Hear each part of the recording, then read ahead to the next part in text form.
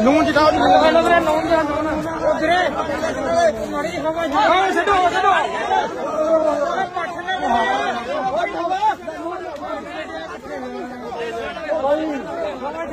ਹਵਾ ਲੱਗੇ ਹਵਾ ਲੱਗੇ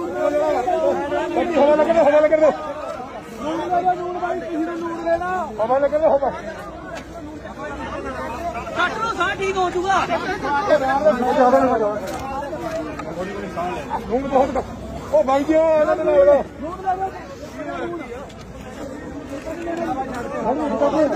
ਉਹ ਵੀਰੇ ਹਵਾ ਛੱਡਦਾ ਯਾਰ, ਤੁਸੀਂ ਆਲੇ ਦੁਆਲੇ ਹੋ ਗਏ।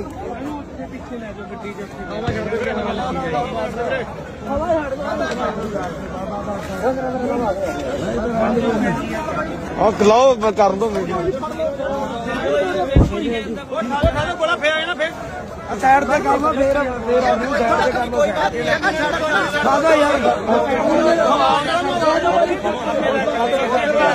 ਪਿੱਛੇ ਲੈ ਚੱਲੋ